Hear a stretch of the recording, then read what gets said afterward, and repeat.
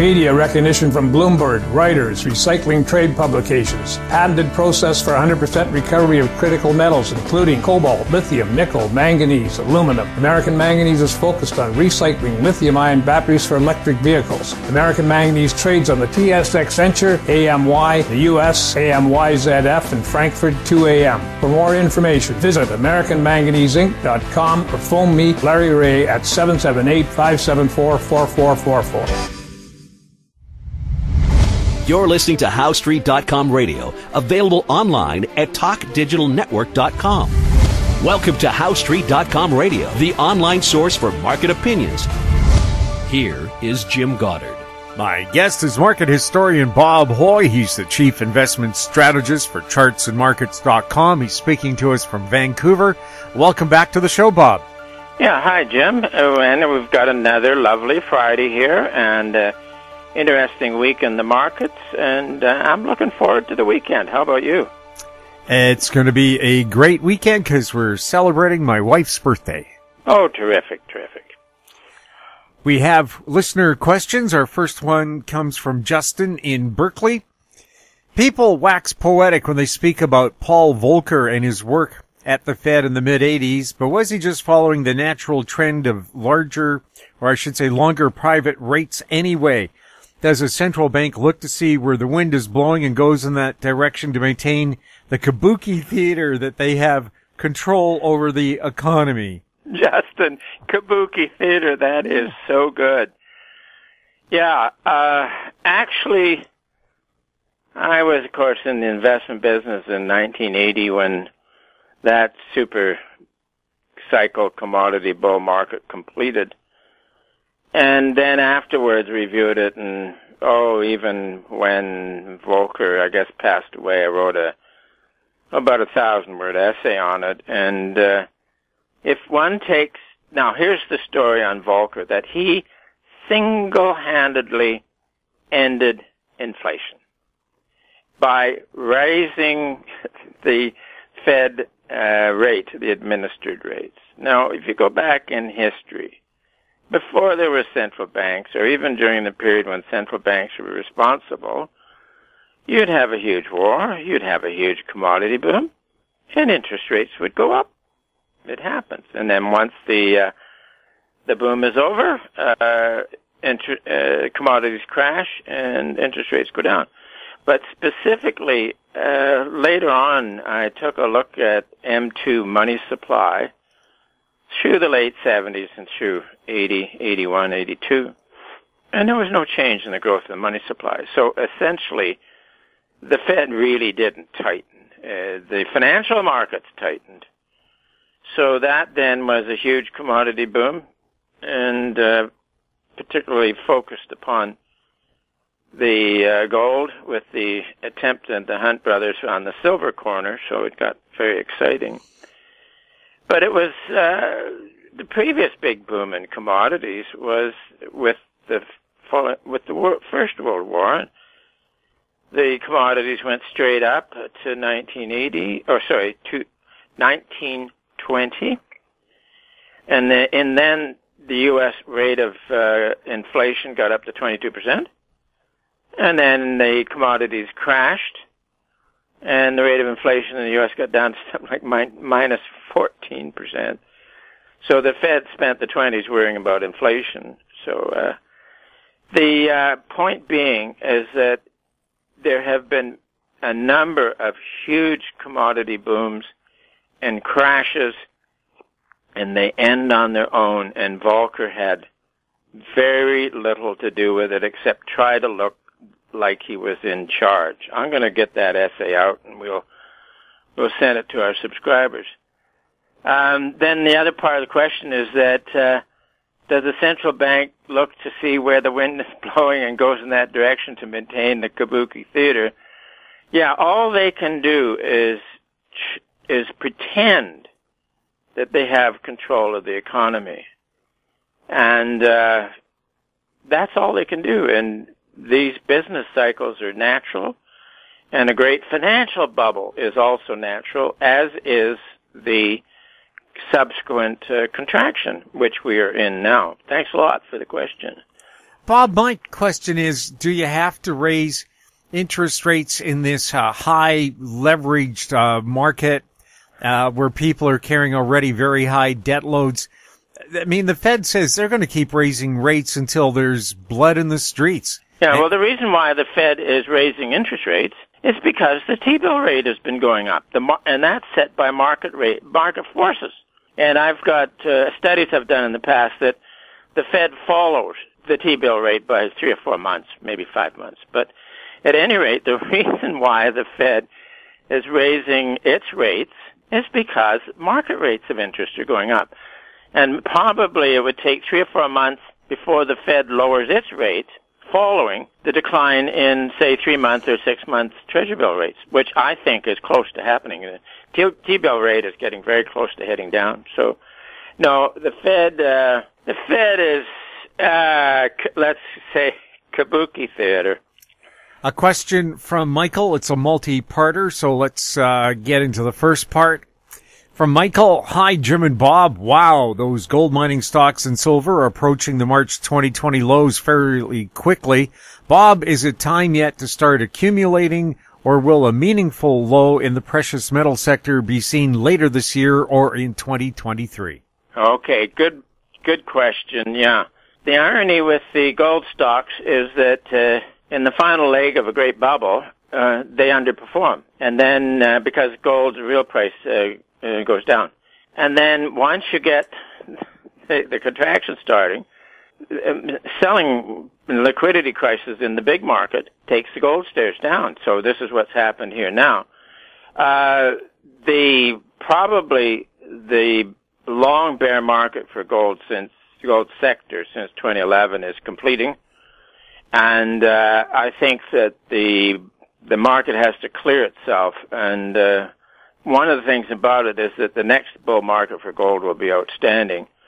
And I think that technically we will be able to catch the bottom as it occurs sometime over the next six to eight weeks. So, uh, yeah, we'll, uh, I think, it, yeah, it'll be a great opportunity. And then the next part of the question? Also, how will the European oil embargo with Russia end? Apparently, the Chinese government is reselling Russian liquefied natural gas to the European Union at a huge markup. Also, President Biden decided to sell a huge amount of the U.S. strategic petroleum reserve to China, not the EU. This all seems crazy to me, Bob. I'm confused. What's going on here? Oh, they are absolutely crazy. Uh, it's an example of policymakers with too much power. And you've had the long promotion about global warming. Therefore, you're going to have milder winters, right? And then they then uh, decide that you have to have wind and solar energy, which are interruptible, and you don't want coal, natural gas, or oil, heating oil. And so they turn against that. And when there's no way that you can generate enough cap- uh, capacity out of uh, windmills and and solar cells. As a matter of fact, those two methods it costs more energy to build a wind turbine than you can get out of its lifetime. So it's absolute madness. And then when you had the uh, the threat to the nuclear plant uh, plant in Japan with that tsunami, then everybody went bonkers and tried to shut down nuclear. So the politics uh, took and shut down reliable energy sources and efficient energy sources, and then put in unreliable windmills and solar. Now, in the 1980s, President Reagan advised Europeans a number of times not to get dependent upon Russian oil and gas supplies. But because oil and gas was was uh, evil in Northern Europe, they then accepted deliveries of those things from Russia. So, uh, and look, at, at the time, you could say that they were absolutely insane. And uh, looking back on it, it, it, that has been confirmed because they have a horrendous crisis that price of natural gas in Europe and in London has gone straight up. But my guess is that the the capacity in Europe, storage capacity in Europe and in, in England is at the limit, so they can't buy anymore. So the prices of natural gas in those two countries comes down rather sharply. And of course, this is where Putin was timed to say he's going to really turn off the taps. You can't deliver to a system that's already full of capacity. So, and of course, it won't be enough. And a while ago, I came across a chart, believe it or not, of the price of firewood in Germany. I think it started in 2006, so it was a sideways up and down with the season annually, and then all of a sudden straight up. So the and then we, uh, you know, it's it is the result of policymakers two things: going crazy, and two, having the power to impose their crazy ideas upon the economy and upon uh, the social fabric. But I think that uh, this winter will, and if you go into uh, this post-bubble contraction gets a little worse, uh, the public is going to be in the mood to reform a lot of this nonsense. And, and indeed, it's happening already. They're bringing on old coal production and uh, trying to get some gas going. Although I saw the other day that Scotland re- refused to allow more natural gas drilling. So, but give them a hard winter; they'll smarten up a little, I think. But yeah, it all seems crazy, uh, which Michael you wrote, and uh, that's true and uh, just a moment of madness. We'll have more with Bob Hoye right after this. Don't miss out. Stay informed. Receive the HoweStreet.com weekly recap with thought provoking podcasts, radio, and articles delivered to your inbox. Sign up for the HoweStreet.com weekly recap on our homepage at HoweStreet.com. Welcome back. We're speaking with Bob Hoye. Bob, uh, we now have some headlines that caught your eye. And uh, let's stick with uh, European energy for a second. Headline, Polish homeowners line up for days to buy coal ahead of winter. Oh, yeah. Can you imagine? Lining up for days. That means you'd have to have a member of your family there sleeping overnight. But then it reminds back of uh, in the in the former Soviet Union where Russians in any city w- would always carry a little string grocery shopping bag with them. And if they saw a lineup, they'd say, oh, there must be something there to buy. So they'd get in the lineup not knowing what was ahead of them in order to buy what was possibly available. And then maybe by the time they got to the head of the line, it had run out. So that was, that of course was centralized communist planning. It just doesn't work. But here you are. Uh, yeah. Put yourself as the head of a family somewhere in Poland, and uh, they get some winter there. And uh, what are you going to do? You have to go through the nonsense, mainly because the central planners have gone crazy. Headline Goldman Sachs says buy commodities, worry about recession later.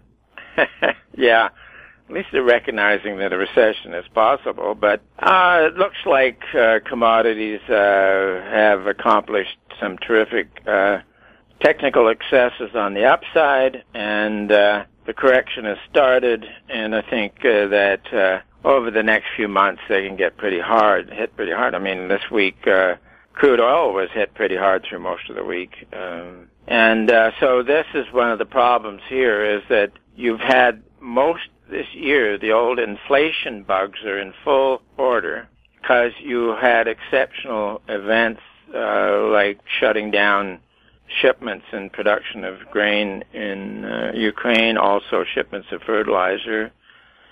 And uh, from time to time, China shuts down whole, you know, 30 million size cities. So there's still interruptions going on from the government side. But I think the financial markets, as usual, see through this. And uh, with the recession, and as I mentioned, that's tied to the yield curve inverting. So with the recession, uh, amazing things will happen. Uh, the demand will fall, and uh, all of a sudden, supplies will start coming out. Uh, there could be tightness and shortages in the grain market uh, over the next while, but I think the big rush in, in commodities and the uh, the huge uh, enthusiasm of the inflationists is all in the market, and it's vulnerable to the next recession, which could have started already. And it's also vulnerable to the uh, continuing uptrend in the U.S. dollar. The DX continues firm and is looking good. So there, uh, there's problems ahead for commodities. Headline China's property market slipped into severe depression. Yeah, and that that uh, Jim was from the Wall Street Journal, which is not a particularly uh, sensational reporting, but there it is. Uh, they, they, their property market is in a depression, and that's worth reviewing. Uh, the uh, the post bubble contraction, as I've called it, first became evident in March of 2021 when uh, it was reported in Argentina and Turkey that their central bank had suddenly run out of reserves. So it was the classic financial crisis and slowing of the economy. And then that summer it was in China, and that's a huge economy, and it's in contraction. And then now Russia with the sanctions and stuff like that. So, so the world is, and including the U.S., because you've had first two quarters of the year at negative GDP growth, which is an old definition of a recession, but it's not severe yet. This may be discovered uh, in the next month or so. So, headline: Everyone is a landlord. Small-time investors snap up out-of-state properties. Oh yeah, yeah. Now also, when I'm driving around the car, I often have the news radio station on and somebody's got a commercial about you as an individual uh, landlord with a property that you're trying to rent out, you can join into this website and they can provide all the services for you, like managing the property and all that stuff. So when you've got uh, pros in the business setting up uh, a system to assist uh, individuals who are uh, in the property in the residential real estate market, that's a sign. And then you got this one where uh, it's happening. Uh, the uh, or uh, small investors are excited about property, and gosh, it goes back to oh the 80s when I knew some guys in Vancouver here were active in real estate, and they were going to Atlanta to speculate in real estate there, and I could never understand it and then, of course, it pro- and Vancouver turns out to be the hottest, pro- one of the hottest properties markets in the world. And of course, I got no idea what happened to Atlanta, but you know, probably went up. But this was the case of small individuals heading out to somewhere else to buy property, and of course, that was also the case with in the mid 1920s when uh, property in Florida became the rage. Oh my God! They put in a the, there was a new railroad. It went from the East Coast all the way down to uh, Florida, and you had all this wonderful beachfront property and uh, very speculative action. And then I think in 1927 it crashed or began to crash, and then there was a, a tremendous storm that did a lot of damage. So that then failed. So the property markets are highly speculative and are vulnerable to uh, the, the post-bubble contraction as it gets worse. Bob, thank you so much for chatting with us. Yeah, hey Jim, good to be with you, and we look forward to next week. My guest has been market historian Bob Hoye. He's the chief investment strategist for chartsandmarkets.com. If you have any questions for Bob, you can send them to info at howestreet.com. Our YouTube channel is Talk Digital Network. Find us on Twitter at House Street. We're also on Facebook. I'm Jim Goddard. Thank you for listening. Comments made on HoweStreet.com radio are an expression of opinion only and should not be construed in any matter whatsoever as recommendations to buy or sell any financial instrument at any time. Available online at TalkDigitalNetwork.com. HoweStreet.com radio is a production of HoweStreet Media Incorporated.